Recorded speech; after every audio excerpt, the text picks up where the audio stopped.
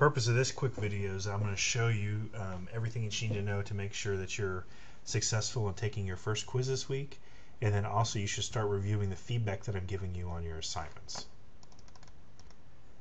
So what does a quiz cover? Well the quizzes cover everything from the previous week and as you get further on in the course it'll basically cover everything that's been previously covered in the course because the quizzes are essentially cumulative.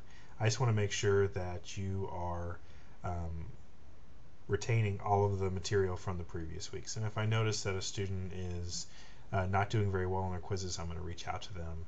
Um, it's also an important way to you know to encourage you to be getting into your book. Um, so make sure that you are getting into your book and preparing for these quizzes. Are the quizzes open book? Well, there's no real way to monitor that, so that's fine. There is a time limit on the quizzes, so keep that in mind as well. Um, the quizzes are generally going to be anywhere between 20 and 40 multiple choice true false questions. Um, and it's an important part of your grade. Um, I believe that all courses should have multiple points of assessment, so I'm not just going to give base your whole grade in the course uh, just on one or two assignments. You'll notice that this course has lots of assignments because I want to make sure that um, you have multiple opportunities for me to be able to give you feedback, multiple opportunities for you to be able to succeed, and um, I also give extra credit. So let's say you didn't do very well on a quiz. Uh, there's going to be multiple opportunities to go back and get extra credit to make up for that. Um, winter quizzes due. Uh, quizzes are due at the end of that week, so this is week two. So quiz the quiz will be due by Saturday at 11:59 p.m.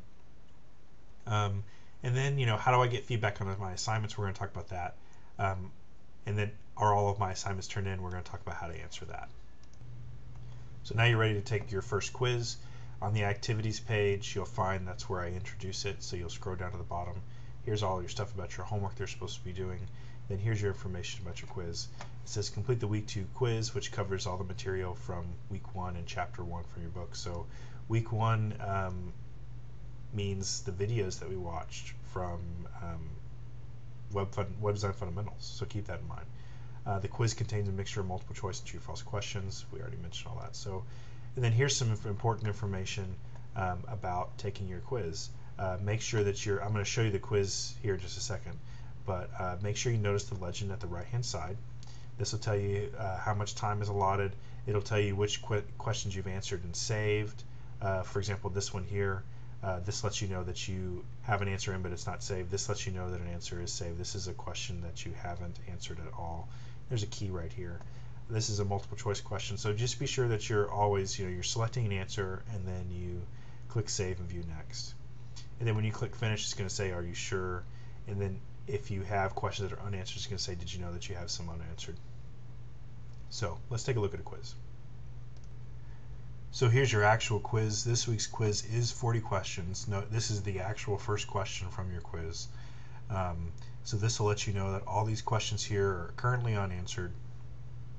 Up here, this lets you know that you do have an hour to answer these 40 questions. So the first question is, the world's largest network is the internet, the World Wide Web, Usenet, or both A and B. So you would choose an answer and you, you would click either, if you just click next question, it says the answer you're being changed but not saved. Do you want to discard your changes proceed? You can revisit the question later. You can hit OK and then I'm surprised I was expecting that to have the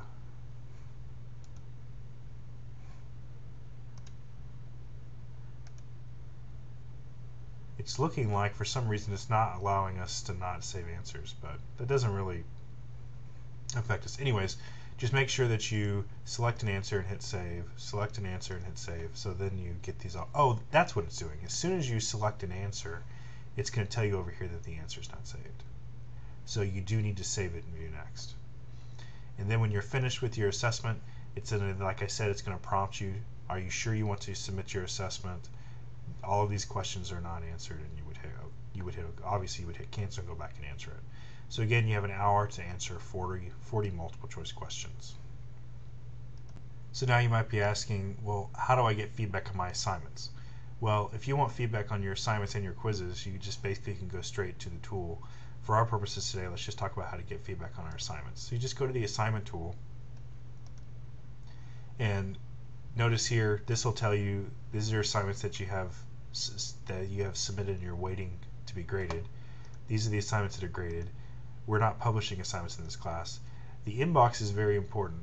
You want to make sure that you don't have anything in your inbox. If you have something in your inbox, that means that it's something that you need to do. So if you come to your inbox and you see assignments from weeks one and week two, perhaps, those are assignments that you need to do and turn into me.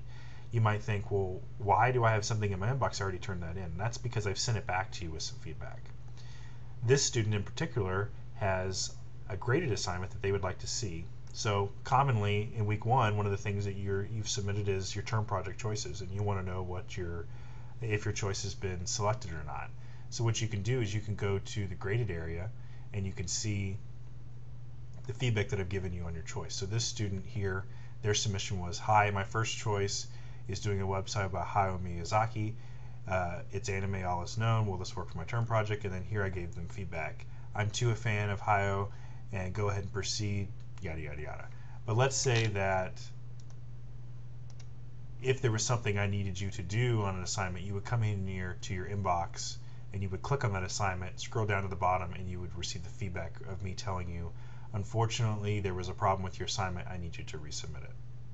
So always be going to your assignment area and checking to make sure what's been submitted. You can also go to the grades area and see the grades in your assignments. Currently, the student doesn't have any grades, but you would come here and you would see the grades that you're currently getting. And then if I've given you feedback on those assignments, you'll see some uh, some, some other feedback on the assignments. You'll see those right here as well. So uh, I want you to, um, you know, feel free to contact me with questions. If it's a question specifically related to you and your grades that the whole class doesn't need to see, just go ahead and send me a mail message. If it's a question like we've talked about before, a question that's just about general course stuff, this is where you're going to be asking me those questions.